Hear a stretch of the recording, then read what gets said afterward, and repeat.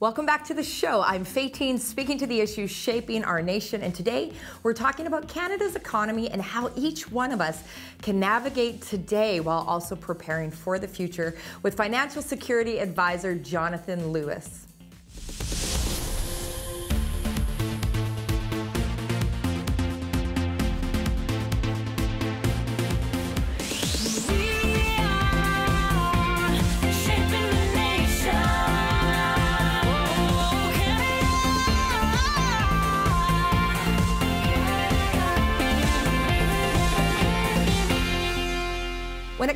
Our national finances and our economy, Canadians are literally facing realities never before seen by any generation here. According to Statistics Canada, in January of this year, inflation surpassed 5% for the first time in 30 years, not including gasoline, which has seen the highest inflation rates, with some areas of the nation increasing 50 cents per litre over the past year. The Consumer Price Index increased 4.3%. Translation, almost everything on the shelves has gotten noticeably more expensive. Canadians are feeling it, particularly when it comes to food, utilities, and gasoline, all of which are essential items. On housing, Royal LePage's latest house price survey found the average price for a home in Canada increased 17.1% between the fourth quarters of 2020 and 2021. The average home price is now hitting under just under $800,000. Most analysts agree that prices across Canada are set to keep rising through 2022 even if interest rates rise. Shelter costs in general rose 6.2% year over year from January 2021 to 2022.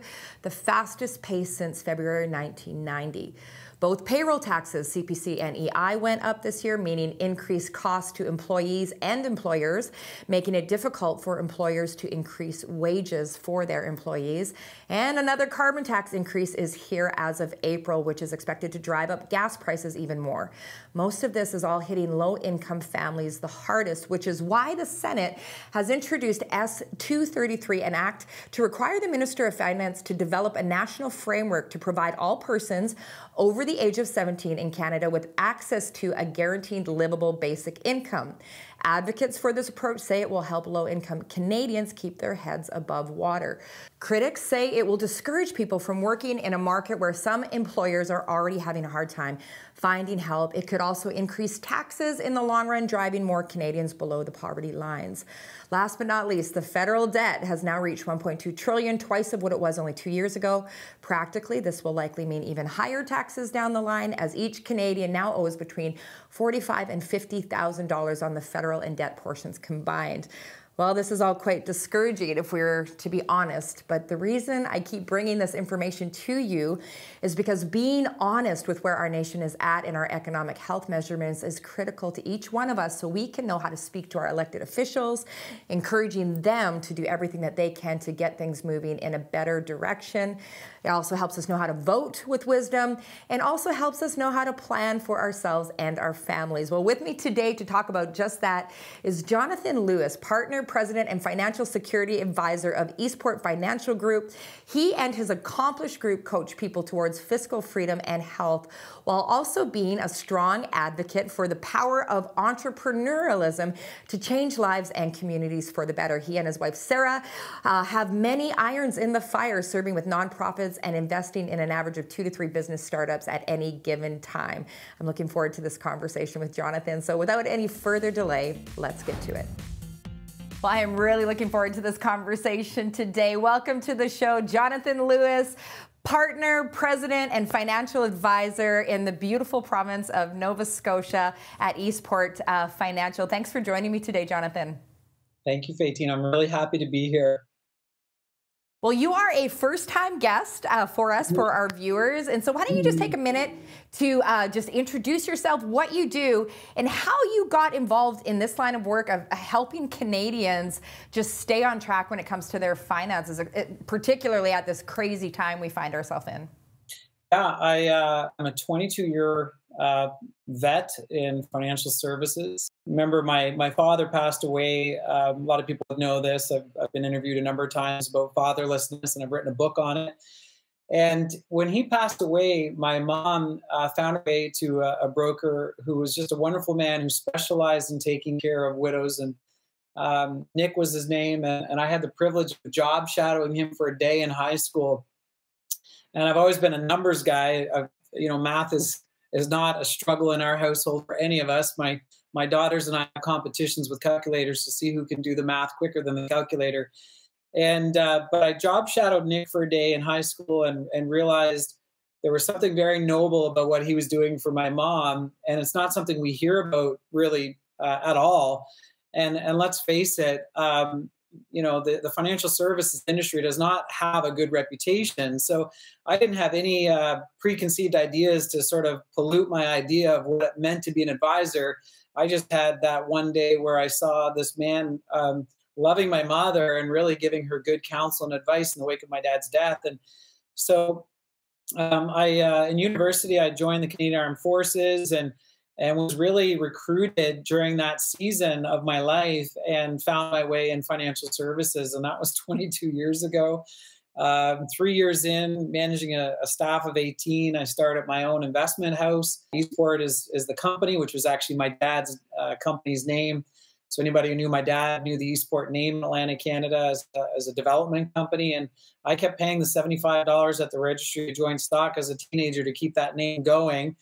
Uh, and that is the name that uh, myself and all my partners and employees now operate under in Canada, coast to coast, um, as a financial services firm. Well, you are not only successful uh, and have an incredible legacy. Thank you for sharing that. But you're one of these guys, you know, you don't let a lot of grass grow under your feet, Jonathan. You've written a couple books, you've got your podcast, you and your wife are constantly innovating as entrepreneurs, and you're regularly in contact with the public. So let's just mm-hmm. drive right to the elephant in the room right now, Jonathan. Mm-hmm. So, mm-hmm. our financials as a nation, you know, probably the, wor- the worst balance sheet we've ever had in the history of our nation, right? The highest inflation inflation yeah. levels, cost of living at an all time high for our generation. And yeah. people are just yeah. really grappling with even how to navigate. Like, what are you hearing from your clients and the people that you interact with in the day to day on what their main concerns are in reference to financial health? You know, the market is very emotional. Warren Buffett is no, like notorious for saying uh, the market's 50% emotions and 50% science and uh, but the emotions will always overrule the science in the early days. And so right now we spend a lot of time with our clients obviously educating them counseling them. Um, you know our clients are very calm. We've uh, uh, we've realized a long time ago the time you spend with your client pays off in dividends when you're in a, a season like this. And i've been through 9-11 professionally 2008 professionally 2013 2018 and now this um, so, you know, one thing we're very confident of is there's always buying opportunities. There's always opportunity in the environment. Uh, so we try and remind our clients of that and reassure them. Um, it doesn't change the fact that if you've got retirees, and they're the ones that I spend the most time praying for and really thinking about and contemplating the moving dynamics for them, they need a monthly check every month. And it doesn't matter if the market is up or down. I still have to come good and make sure they get their annuitized payments from their RRIFs and, and their payments. So, to be honest, advisors really earn their keep in choppy and down markets because we have to spend a lot more time uh, with our clients, holding their hand and reassuring them and, and reminding them that on the whole, the market always trends upwards. What I can say about this season uh, and this is always the case with the markets. And with, with the economies is the markets are a voting machine and they love certainty. And they do not like uncertainty. And what we have right now is a lot of uncertainty that is um, existential or it's it's beyond anybody's control. But we have a lot of uncertainty that's been manifested unnecessarily. And um, i know that that's what we really have a hard time navigating is how do we um, you know, knowing we have to invest, you know, 70, 60% of our clients' money in Canada, how do we um, manage our way through this for our clients uh, at the micro level when we're dealing with so much micro instability that that isn't necessarily what the rest of the world is dealing with? So that's that's been a struggle. Absolutely. And obviously, we just came through a, an unprecedented situation with our prime minister invoking the Emergencies Act, mm-hmm. uh, freezing yeah. the bank accounts of Canadians. You talk about uh, unpredictability in the market. Yeah. Uh, what, how did you guys uh, respond uh, with that whole dynamic? And what did you observe with, with Canadians at yeah, that point? Like, like everybody, there's an old saying in my business uh, when the tide goes out, we get to see who has a bathing suit on and who doesn't. And, and certainly, that Emergency Act, people just didn't see that coming. Um, that was um, extreme.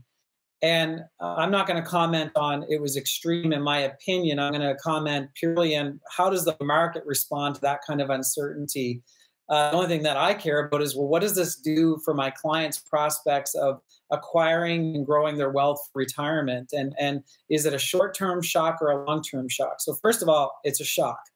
Um, so you know, we have not seen that kind of um, government strong-handedness in the in the context of what that would do to uh, to to investors, and and we've seen since 2015 a, a, a gradual um, um, uh, pullback of foreign investment in our country. It's it was four percent from 2015 to 2019. Now it's double digits, and the last two weeks have been um, rocky. Um, and there's these other shock factors like um, Ukraine and Russia, you know, a lot of people didn't think Ukraine was going to get invaded. And, you know, the markets are responding to that now because, again, it's uncertainty. But um, we all know that oil and gas prices are huge drivers on inflation. So it's like, okay, how do we slow down this inflation? And if there's not too many levers left that you can pull, you know, you could very well find yourself in a similar environment that we saw from the uh, late 1970s into the mid and late 1980s, where inflation is hard to manage, and every country is trying to figure out how to do that. We love Canada, and we want to see it strong for generations to come. That's why we do this show. We can't do it alone. We need your help. Unlike commercial TV, this program is 100% donor funded. If you'd like to see more episodes produced on important issues for our nation, please consider signing up to be a monthly partner or giving a special gift today. Every gift makes a real difference, and all gifts are tax deductible. Together, we can build a better Canada for the future. Visit faytene.tv or call 1 866 844 0844 to donate today. Uh, what I love about you, Jonathan, is you are a sharp pencil. You are excellent in your field, uh, but you're also a man of prayer and a man of faith. And uh, yeah. and you've yeah. studied your your your vocation out through that lens as well. Let me ask you this, Jonathan, for our viewers: Are there timeless principles, like when the world is just going like this? It's so unpredictable. Whether it's the yeah. the Emergencies Act, the wars, inflation. What are the things that Canadians could be doing and should be doing just to create stability?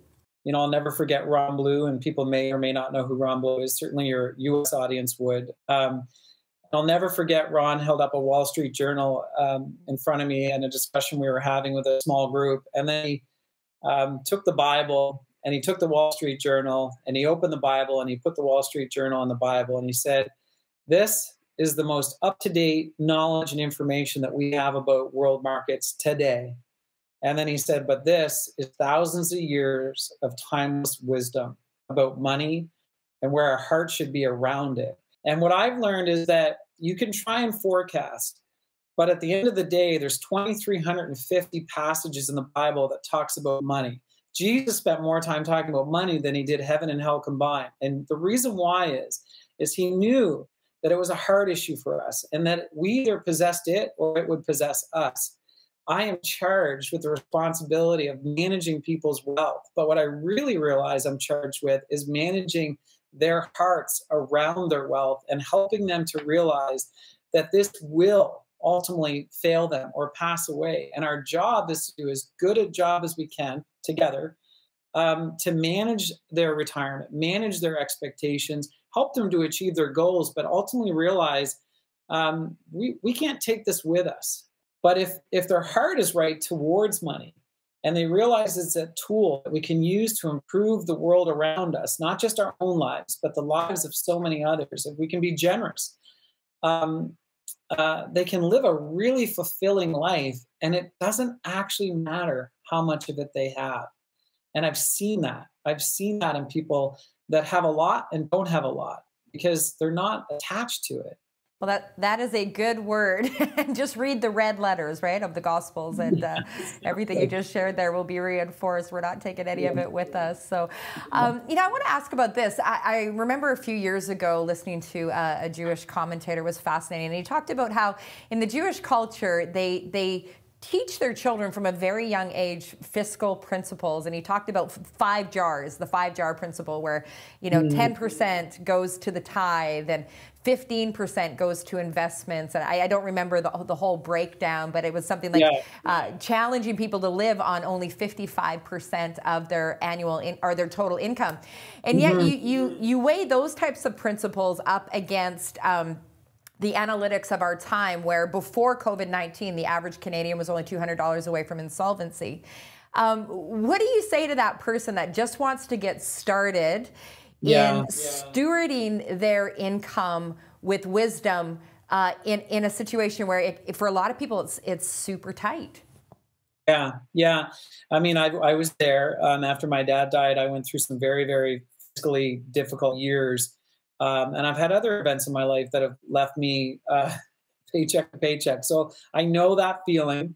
Um, so when I say this, um, uh, it is definitely coming from a place of experience and not, um, well, I've never been there, so or he's never been there, so he doesn't really appreciate what it feels like. And uh, what you're describing is uh, we call it um, the pie graph of, of money, and there's there's five places you can put it. Uh, three of them are the save it, spend it, leave it. Uh, but there's also taxes and debt. And it's really, really simple. If you have a lot of debt, and, and let's face it, in North America, it's consumer debt that gets away from us, and we get those credit cards that get away from us. And Dave Ramsey's done a tremendous job of, of trying to help people with uh, snowballing their debt. But the trick is to say, okay, I've got my personal debt, and then I also have my share taxes of federal provincial debt. That's all debt. It's just your macro debt or your debt that you share with other Canadians, and then there's your personal debt. So, what I've observed is that if you can manage your personal debt down to zero, and that takes discipline, and to be blunt, you need an accountability partner. I have a financial planner that I'm accountable to, and I sit down with him twice a year and I bear all my cards and say, Yeah, this was not responsible spending. So, if I need to have accountability, we all do. And, uh, but I, I, I, uh, I'm very deliberate with my clients and myself to say, okay, no personal debt, pay off your debt, pay off your mortgage, um, uh, try and retire the debt. The big one is consumer debt. Avoid consumer debt and credit card debt at all costs. You will be a slave to the lender, as God's word says, uh, if you get uh, if it gets away from you. Then what happens is you can save and, or uh, and and also give. And what people fail to see is when the tap on debt turns off and you start turning up the tap of giving and saving, well, there's tax incentives for both of those in our country still.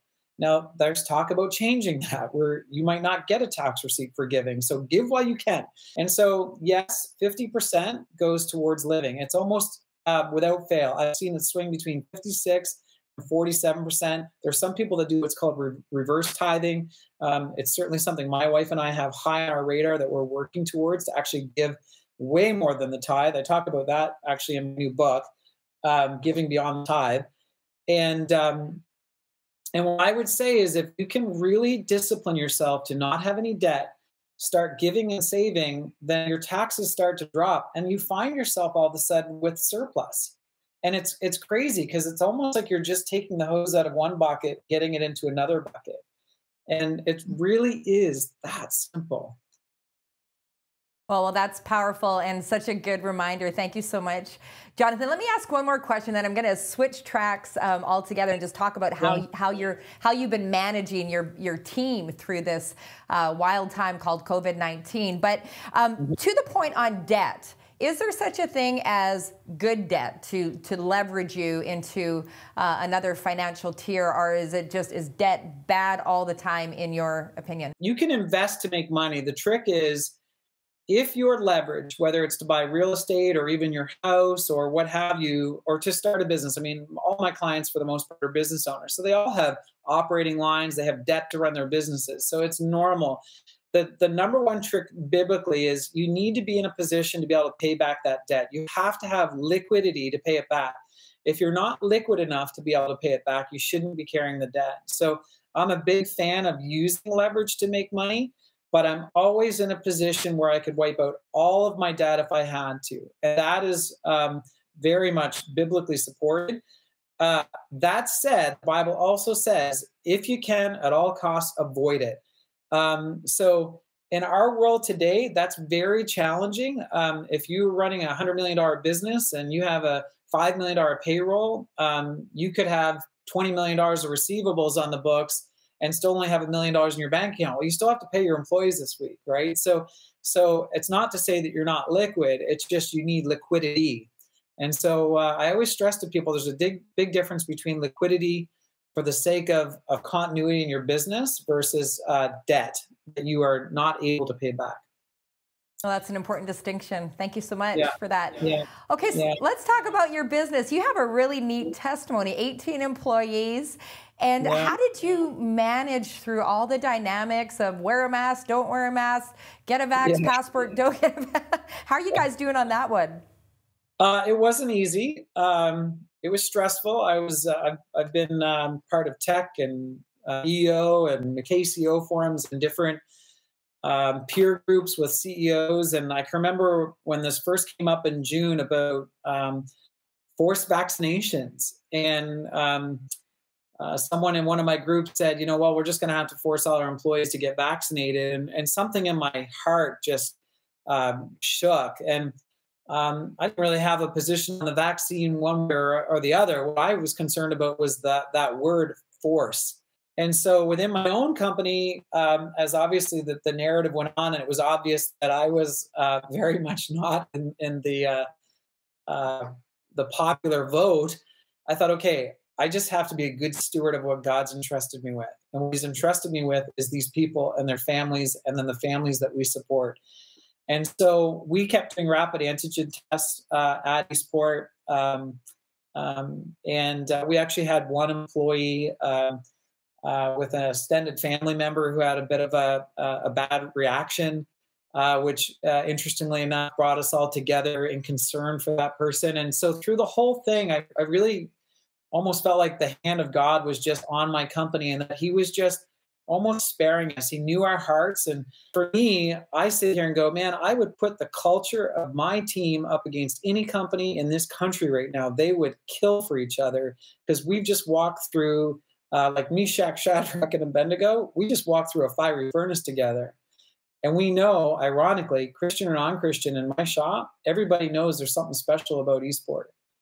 Um, so, yeah, unity was not about conformity, it was about we want to do this together powerful. It's so inspiring jonathan. It sounds like you got a book on that one even if it's a if it's a mini book just to share your testimony and a, a bunch of podcasts. Anyway just to clarify when you said that one of your team members or their family members um, correct me if i'm wrong had a, um, a, a negative reaction was that to the antigen test or to the vaccine?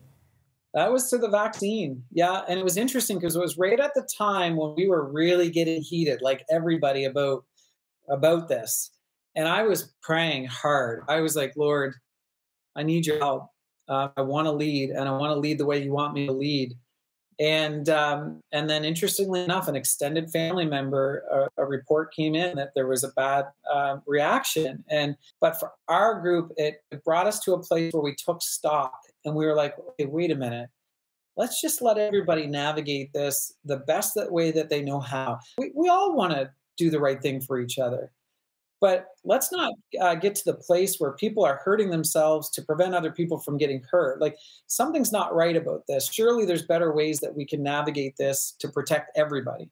And that's what we chose to do. I mean, it was ma- we we wore masks. Um, you know, if clients came in and they were they were nervous, everybody masked up. Um, you know, my unvaxxed employees did rapid antigen tests Mondays and Wednesdays. It cost me thousands of dollars to buy these rapid antigen tests before the government started providing them to us in I don't know when it was January. I'd, I had them since September. I'm thinking, man, this is this is like this is the body of Christ, and um, and it's right before my eyes in a, a, a business. And I said to one of my employees, "This is marketplace ministry. Like like not only are we witnessing and serving our clients, but we're serving each other, and it's powerful." And if you interviewed any one of my employees, I know they would they would say, best place ever to be. And and it's because I'm an employee too. Like to me, uh, God is my CEO. It's His company. I just need to uh, be a good steward of what He's entrusted me with. Wow. Well, this is so powerful, so beautiful. Seriously, Jonathan, I love how you respect uh, your employees, respect their conscience, freedom, rights, and have cultivated such a beautiful uh, culture of unity. So good on you. That's amazing. Now, my only regret, Jonathan, is that our time is starting to run out here, but uh, you've got a couple books, and obviously yeah. your, your business has a website. Why don't you rattle off where people can find you? Sure. You can check uh, our family out at the Jonathan David Wayne Lewis Foundation, or you can just Google the Lewis Foundation. All my books are on Amazon. My most recent book is More Than Money. Um, and um, I've been told that it is a, a, a, tough and convicting read, which doesn't surprise me because it's certainly where, where I felt the spirit leading me in writing it. Um, and uh, and certainly you can check us out at eastportfinancialgroup.com if you want to. And uh, yeah, we, we just want to try and be a good example of marketplace ministry uh, in Canada. Amazing. Well, hey, may there be way more like you uh, emerging in the future. This has been so inspiring, Jonathan. Any final words for our Canadian viewers right now? Oh, man. Just remember either you possess money or it possesses you. But like Jesus said, you can only have one master.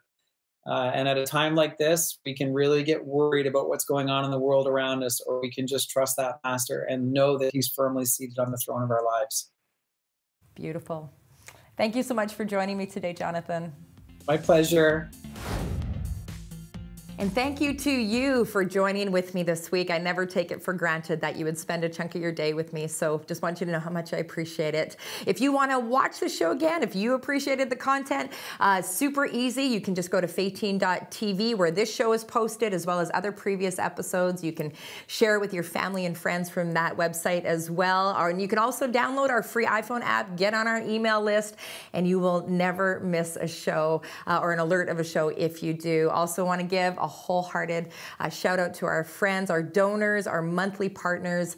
We always say it because it's so true. We could not keep at it without you. You are the ones that keep us on air every single week. We're going up on about three years now. Can you believe it? Uh, because of you and your generous support. So thank you. If you would like to become a monthly partner or give a special donation today, every gift makes a huge difference and is deeply appreciated.